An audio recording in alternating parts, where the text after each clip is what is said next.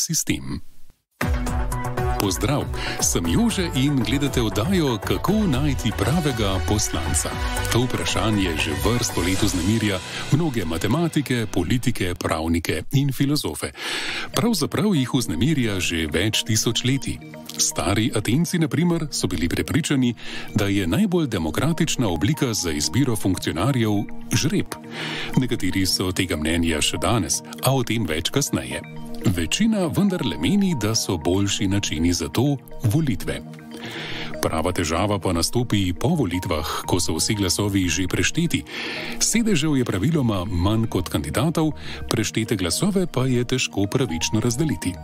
Recimo, da imamo 14 voljivcev, 5 kandidatov in 3 sedeže. Kandidati po vrsti dobijo 4 glasove, 3 glasove, 3 glasove, 2 glasova in 2 glasova. Če sedeže dobijo najboljši trije kandidati, kar 4 voljivci ostanejo praznih rok. Več kot tretjina voljivcev torej sploh ne bo imela zastopnika v parlamentu.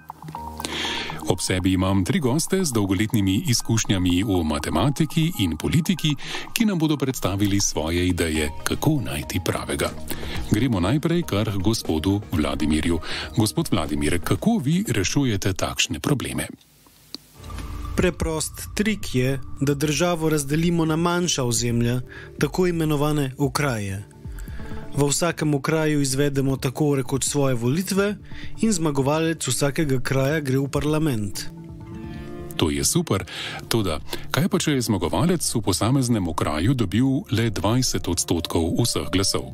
V tem primeru je kar 80 odstotkov voljivcev razočaranih, ker ga niso volili, prišel pa je v parlament.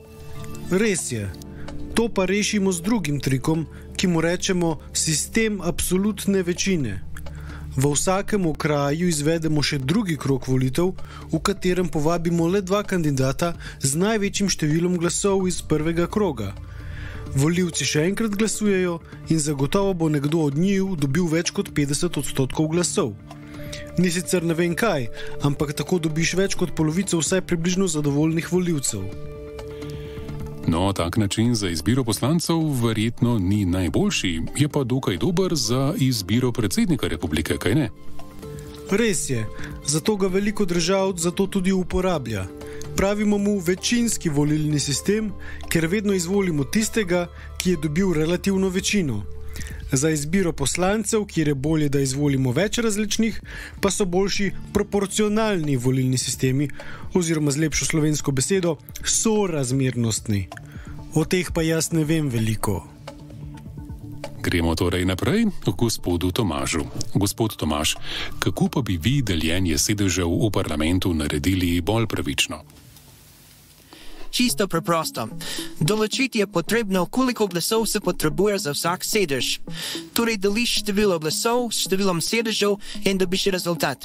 Naprimer, če imaš 9000 glasov in 10 sedežev, je za en sedež potrebnih 900 glasov. Toda na ta način ne moreš razdeliti vseh sedežev. Če je določena stranka dobila naprimer 2200 glasov, bo dobila dva sedeža. 2 krat 900 je 1800, ostalih 400 pa bo ostalo nerazdeljenih. Res je, pri vsaki stranki ostane še nekaj glasov, ki jih nismo uporabili. Zato preostale sedeže razdelimo med stranke z največ ostanki. Naprimer, če je na voljo le še en sedež, eni strani je nerazporejenih ostalo 400 glasov, drugi pa 300, je prav, da preostale sedež dobiti sta 400 timi, kaj ne? Tako je, vendarle se mi zdi ta igra z ostanki nekoliko čudna. Gospod Viktor, tudi vi pravite, da so sorazmernostni oziroma proporcionalni volilni sistemi boljši od večinskih za parlamentarne volitve. Trdite celo, da imate boljšo rešitev od gospoda Tomaža, takšno, ki vse sedeže razdeli že takoj, brez čudnih ostankov. Seveda, moja rešitev je veliko boljša kot rešitev gospoda Tomaža. Takole gre.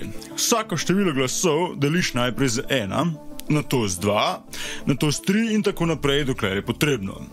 Na to pa obkrožiš toliko največjih številk, kot je sedežev. V našem primeru je to deset. Na ta način dobiš število sedežev za vsako stranko ali kandidata.